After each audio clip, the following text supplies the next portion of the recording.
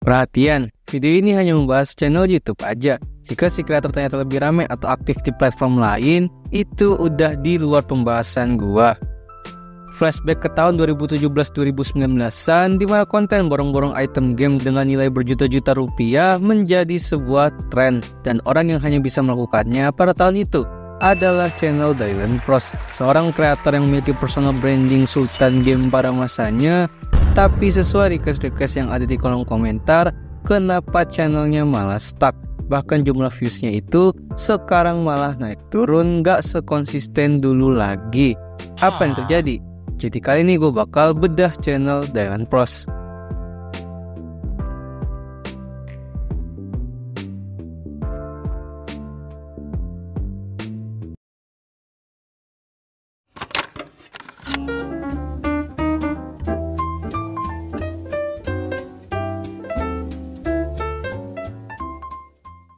Sebelum itu, jika lo melihat dari titik awal mula channel Dylan Pros ini, menurut beberapa artikel dan video pembahasan-pembahasan di YouTube, Dylan Pros atau Dylan Maximus Zidane sudah mulai membuat channel YouTube dan mengupload konten di YouTube sejak tahun 2015 dengan nama channel Dylan Pros Gaming yang berawal dari video main pedang-pedangan randomnya ini.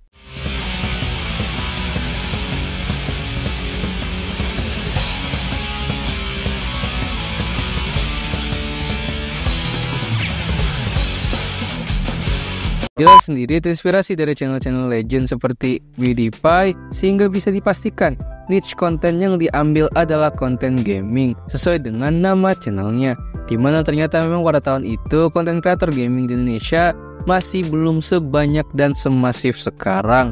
Tapi pada akhir tahun 2015, kata gaming pada channelnya dihilangkan sehingga nama channelnya berubah menjadi Dylan Pros aja Dikarenakan Dylan tidak ingin mengambil satu niche yakni gaming aja, tapi ia ingin mengambil niche-niche lain seperti vlog, challenge, review, dan lain sebagainya. Dan ya, ada yang nanya, kenapa channel Dylan Pros jadi Dylan Pros yang tadinya Dylan Pros Gaming? Ya jadi gini bro, gue ganti nama gamingnya itu jadi nggak ada karena ya misalnya orang lihat channel gue itu cuma gaming doang ya kan. Padahal channel gue itu bukan gaming doang, ada vlog, ada martial art, baru gaming. Tapi gue fokus di gaming.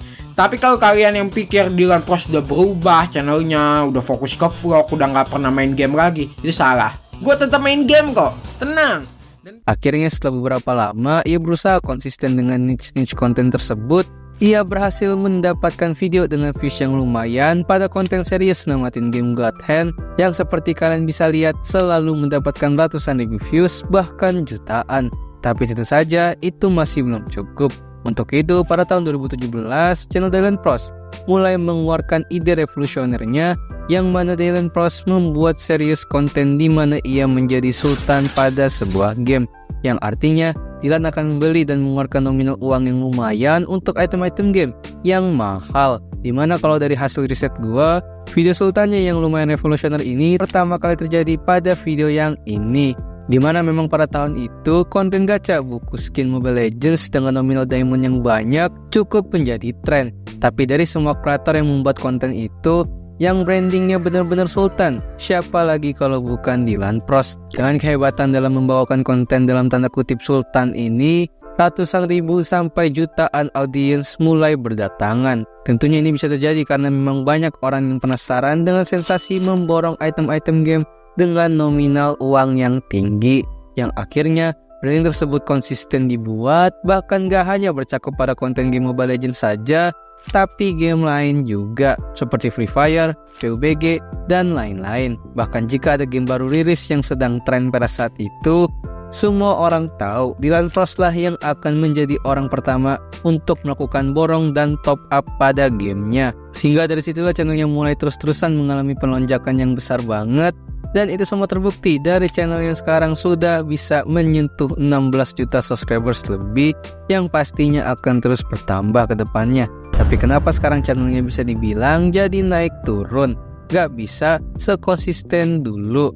Terbukti dari data yang ada di Social Blade yang bahkan ada banyak momen di mana dia mulai ngestak dan naik turun lagi. Jadi, apa sebenarnya yang terjadi?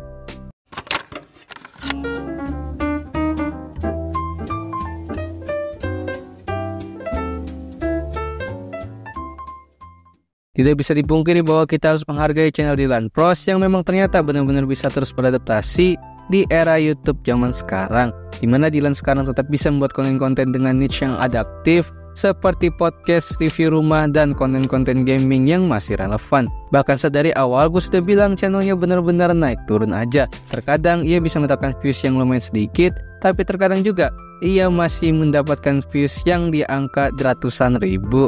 Jadi sebenarnya apa yang terjadi? Kita mulai dari sesimpel kalau konten borong-borong item di game itu udah nggak selangka dulu lagi. Dulu konten-konten borong-borong item game dengan nominal tinggi itu sangat jarang. Makanya orang-orang pasti akan menonton Dylan Pros untuk menikmati kontennya. Tapi di era sekarang, konten-konten borong game itu sudah banyak banget. Kata Sultan yang harus menjadi personal branding dari Dylan Pros itu sendiri sudah mulai dalam tanda kutip pasaran.